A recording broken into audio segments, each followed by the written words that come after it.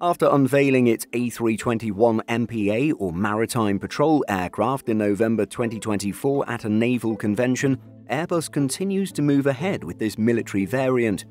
On February 4th, the European firm announced that France's Defense Procurement Agency, or Direction Générale de l'Armement, signed a contract with Airbus Defence and Space.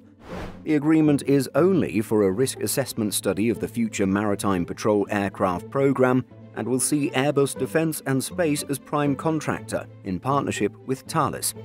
This 24 month contract follows on from the architecture and feasibility study launched at the end of 2022. No, it's not a firm order, but it shows slow progress towards this jet becoming a reality. Let's take a look at the details for today's video. Airbus says that the aim of this new definition study and risk assessment contract is to prepare for the development and production launch of the Maritime Patrol Aircraft program at the end of 2026. This study will enable the initial results of the architecture study to be taken further in order to refine the economic and industrial conditions for carrying out the program. The study will also guide the technical choices of the systems to be integrated on the aircraft and to carry out the first wind tunnel tests. Jean Brice Dumont, Executive Vice President, Head of Air Power at Airbus Defence and Space, was quoted as saying, The A321 MPA has all the assets to become a true flying frigate capable of responding to the wide range of missions entrusted to the French Maritime Patrol.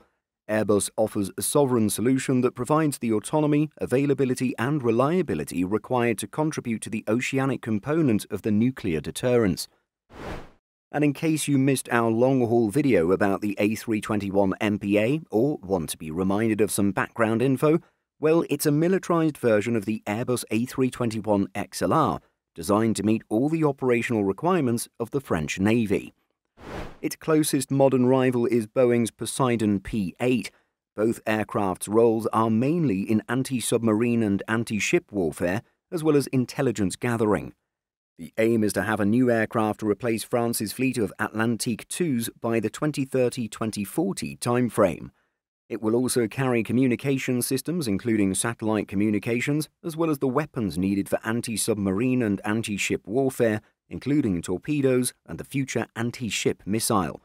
The aircraft's large cargo bay and the open architecture of its mission system give it a great capacity to evolve throughout its life cycle to meet the emergence of new threats.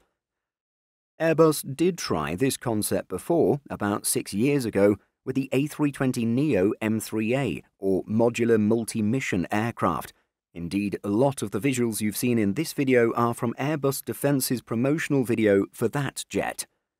But hopefully, this time round, the A321 MPA will reach production and entry into service. What do you think of an Airbus rival to the Poseidon? Let us know in the comments.